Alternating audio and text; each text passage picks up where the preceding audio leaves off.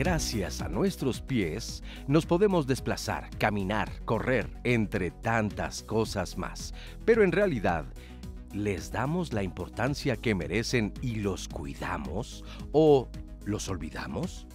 Es fundamental recordar que el pie es uno de los órganos más valiosos y complejos que tiene el cuerpo humano.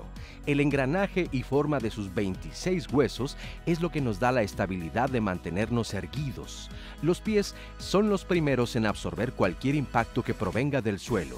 Son nuestros amortiguadores que transmiten la fuerza de reacción hacia la rodilla y cadera, ayudándose de estas para mantenernos equilibrados.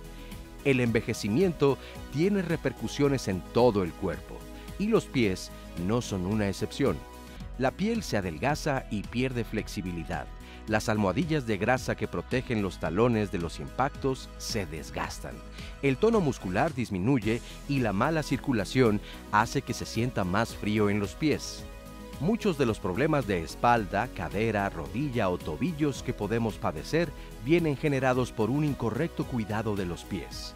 La forma de caminar, de correr o el peso que llegan a soportar influyen en gran medida en los problemas que pueden llegar a surgir. Por ello, es necesario comenzar a mejorar los hábitos del cuidado de los pies, ya que con el paso del tiempo se comienzan a presentar problemas que ya no son tan fáciles de tratar.